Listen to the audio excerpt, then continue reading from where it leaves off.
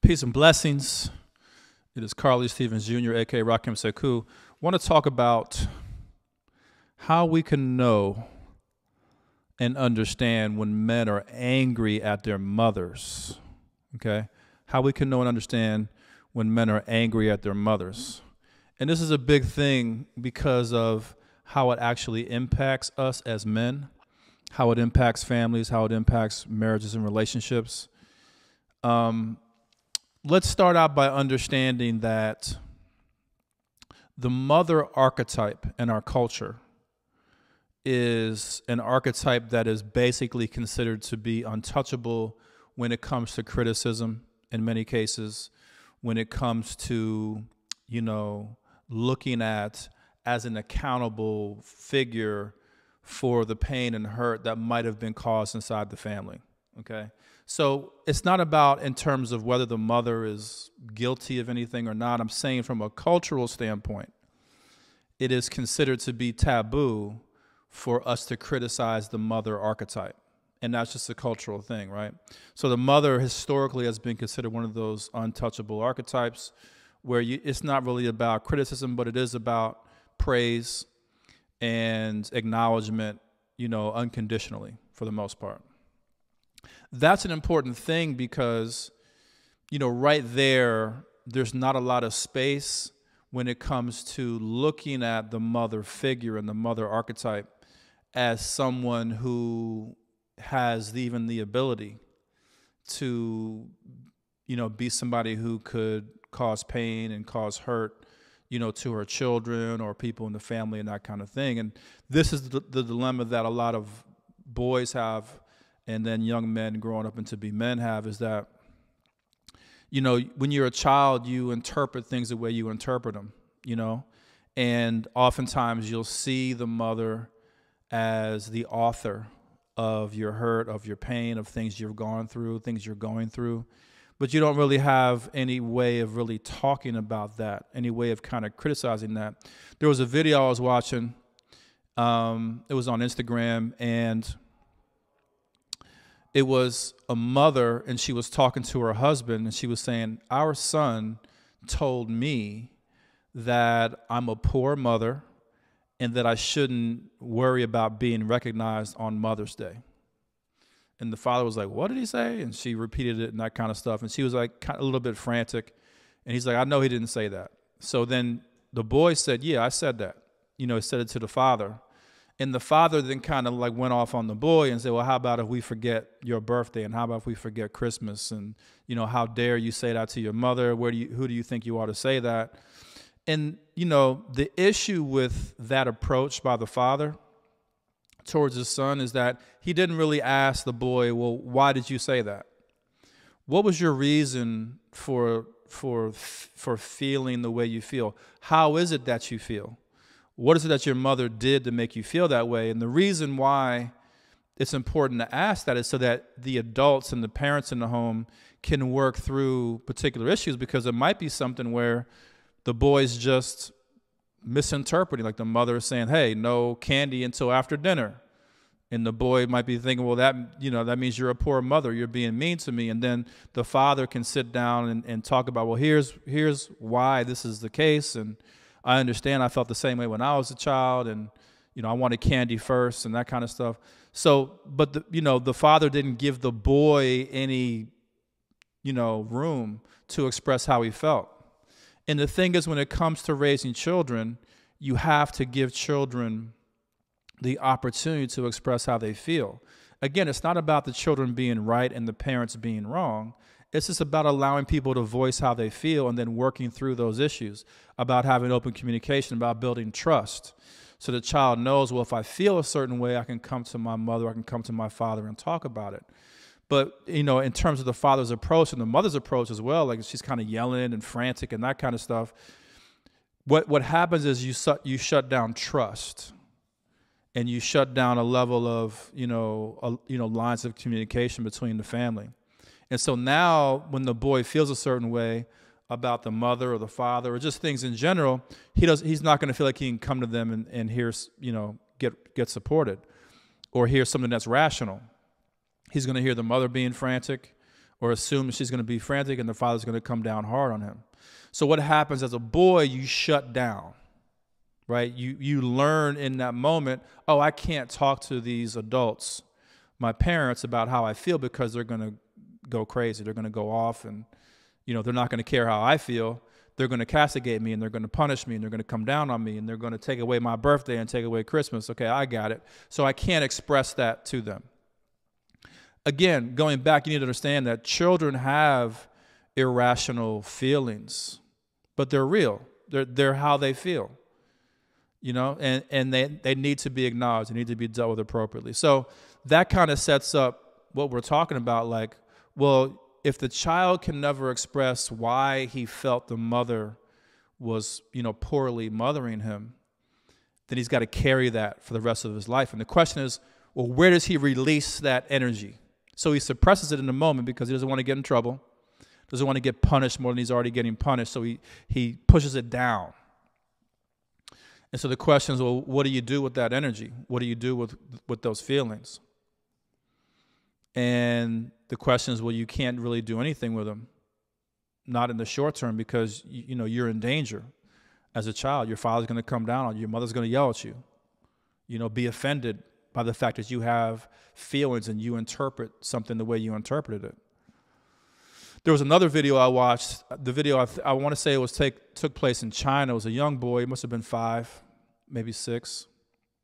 Really, really, you know, you know, kind of cute family husband, wife, the, the, the, the son who's about five or six, and then the, a new daughter who's about seven months. And so they just they're asking the, the child questions, and the mother's on the other side of the, the one way kind of mirrored glass, like watching the interview. And the, they ask the child, well, which which parent's your favorite? And the child said, I don't know. And they said, Well, you know, how do you feel about your father? And he says, Well, he's scary when he talks. You know, I'm, I'm scared of him when, he, when he's speaking. I, um, I don't want him to, to yell at me and that kind of stuff. And then, you know, they asked him, Well, what, what would you like from your father? He said, Well, I, I would like for him to speak to me softly, you know, speak to me gently. And they were like, Okay. And they were like, Well, well how about your mother? And he said, Well, I don't feel my mother likes me. And they showed the mother in that instant, you know, she's watching through the, the, the mirrored glass, and she kind of started crying and she was surprised and all that kind of stuff. And they said, Well, did you talk to your mother about that? And the boy said, Well, she doesn't listen to me. You see what I'm saying? Um, and they said, Well, what would you like for your mother to do? You know, if you could have it your way, what would your mother do? And the boy said, Well, I, w- I would like for her to play with me. And then they kind of cut to where they're like filming the family in their apartment. And the boy's on the floor, you know, like laying down and whatever, and, and playing with his trucks and his toys all by himself. And the parents are kind of huddled around the, the, their daughter, the seven year old or seven month old daughter, and they're kind of focused on that. So they showed a repeated clips in different days where the where the boy's playing by himself with his toys and that kind of stuff. You see what I'm saying? And so the boy got emotional while he was talking and he kind of covered his face and asked the interviewer to stop doing the interview. But, you know, again, this is another thing. Like the boy feels like the mother doesn't like him. And again, those feelings could be coming from anywhere. It's not automatically, oh, the mother did something wrong. We're not really focused on that. That's not the focus. The focus is this is how the boy feels, and that should be addressed we should be able to talk to him and say, hey, you know, why do you feel your mother doesn't like you? Or why do you feel you can't talk to her? Or, you know what I'm saying? Or, or what is your dad saying that's so loud, et cetera, et cetera. But there was no space given for the boy to express that. So if they didn't do that interview, he would have grown up his entire life having these feelings about his mother, but those feelings never really being addressed and, and you know, more than likely. And so the point is, like, people are wondering, like, hey, how do you know when a when a boy grows up into a man and he's still angry at his mother? Well, it, he's he's channeling that anger towards his wife and towards his girlfriend and towards his partner. A lot of women I coach, they come to me and say, "Hey, Rakim, I don't understand. why my boyfriend is so angry. Like he's he's abusive, he's angry, he's you know what I'm saying? Like it's it's almost irrational. And as a result, I'm kind of walking on eggshells around him because I don't want to piss him off. And the answer is, well, there's a there's a probability he might have some unresolved anger towards his mother that he can't talk to her about because the mother archetype is off limits.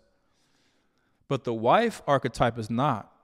You know, a husband and a wife, you know, especially when you look at like Christianity and religion, they kind of put the husband above the wife. You see what I'm saying? And so the, the man feels entitled to be able to, you know, go off on his wife and vent to his wife unsolicited and, you know, to be abusive because that's the structure, you know, in society and in, in religious, from a religious context. So he's venting all this to you. He's carried it all his life he's had this anger towards his mother, which is going to, you know, equate to anger towards women, and he's going to have this irrational anger towards you. He's going to have a lack of patience with you. Like he's not going to really be able to have tolerance for the things you're saying, the things you want, the things you desire. He's going to blame you for his pain. A lot of women say to me, like, yeah, like I did this and that. And he's like saying that's, I'm being disrespectful or I'm being abusive towards him or you know, I'm causing him pain or something. And I said, and I, I try to explain like, no, he's already in pain. He's just saying that he needs to blame you for that. And again, we're we're talking about possibilities here, right?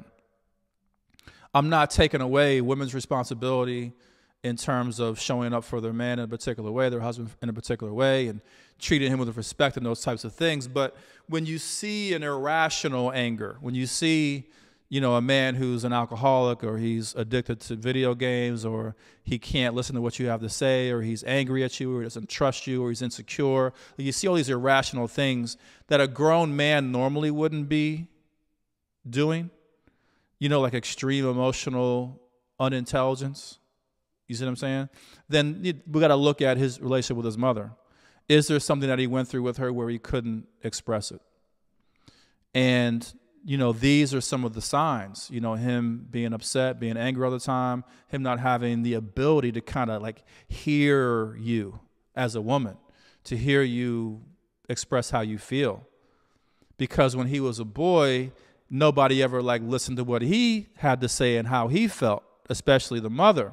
So he's his tolerance for a woman coming at him and explaining what, what she wants and explaining how she feels is very low. He's not able to, you know, what we call hold space for her. He's got a very low level of emotional maturity. He just can't do it. It's it's like scratching a chalkboard, you know, to his soul. And you're like, and women are like, man, what's going on? Like, what's up with this dude? Well, that's what it is he's carrying childhood trauma, he's carrying childhood anger forward into his marriage and relationships. And, you know, you weren't able to see that as a woman because you're dealing with your own trauma and, and X, Y, and Z. And so you all end up coming together and like it, it turns into this situation where you're just not able to come together as a solid couple. You're not able to really ha- create real intimacy, real trust, real communication and as a result, the marriage suffers. And then what's worse is the children you end up having, if you have children, they end up suffering because, well, as adults, you don't know how to communicate or hold space for them. So, as a man who grew, grows up in that scenario, he's looking at his his son, for example, and saying, "Well, I, no one held space for me. That must that must be how you raise children." So he ends up being kind of like that overbearing father and out of touch and you know not willing to listen to what a child has to say and that kind of stuff. And so the cycle repeats. And that's where we find ourselves in a, in a scenario where the cycle repeats over and over again because you know we are not stepping outside of that kind of cultural phenomena where we don't allow the children to speak their truth and talk about their feelings. And so you know we see it happen over and over again. So, something to consider, something to look at. We'll come back and talk more about this topic, but let me know what you think below. Feel free to subscribe and check us out in the future. Peace. Talk to you later, man.